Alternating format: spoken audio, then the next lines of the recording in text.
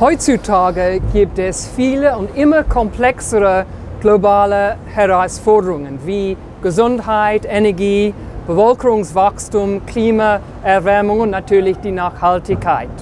Die ETH wird die Ingenieure, Architekten und Wissenschaftler, Wissenschaftlerinnen von der Zukunft ausbilden, damit sie diese Probleme zugunsten der Schweiz lösen können.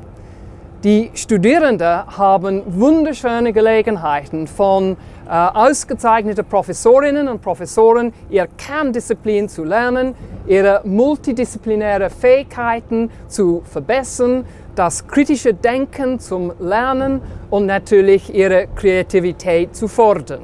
Die ist eine einmalige Chance für jede Einzelne, wie auch für die Schweiz.